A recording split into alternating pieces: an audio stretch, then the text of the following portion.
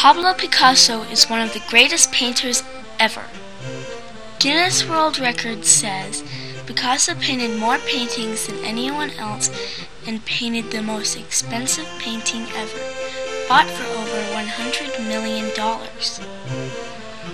Picasso was born in 1881, and the first word he ever tried to say was pencil, because he wanted to draw a dove outside his window. His father was an art professor, and he taught his son the rules that painters have used for centuries. Have you ever made a picture of yourself? Even though he had dyslexia, Picasso became a very good painter even when he was a boy. These two paintings were both painted by Picasso when he was just 14 years old.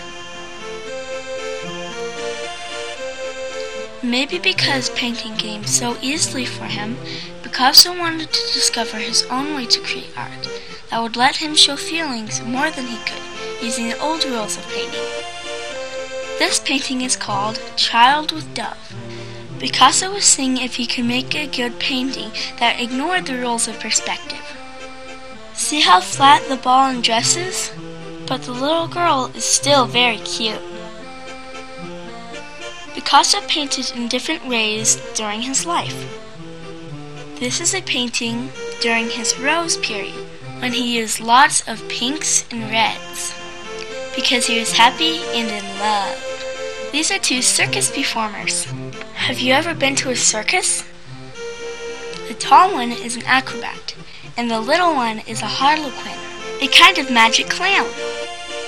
This painting style is called Cubism.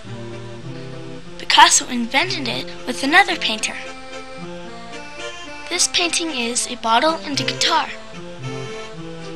It shows little glimpses of different parts of a bottle and a guitar, all jumbled together in a flat space. It looks sort of like an artist's sketchbook, with lots of little drawings overlapping each other. Can you find part of the bottle?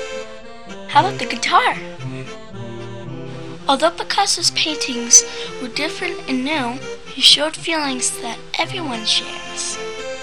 This painting is called Mother and Child. With just a few lines for their faces, anyone could see how much his mother loves her little boy and how happy he is sitting on his mama's lap. Have you ever felt like they do? When some painters got older and famous, they often painted things fancier and fancier. Even when Picasso was successful, he used what he had learned to show the simple truths of life, with paintings that looked simple but were really very complex. When a painting shows something in a very simple way, it is called abstract. This is a print he made when he was 77 years old, named simply Flowers and Hands.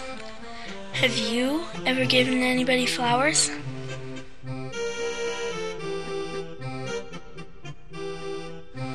This is an abstract print Picasso drew when he was 80. And even though it is just a few beautiful lines, you can see that it is a dove. Dove has an olive branch, just like the dove from Noah's Ark. After making thousands of paintings and sculptures, Picasso was drawing a dove, just like he wanted to when he was a baby. Picasso had been through lots of wars and fighting in his life. But in the end, what he wanted most was peace and this is a very peaceful work of art.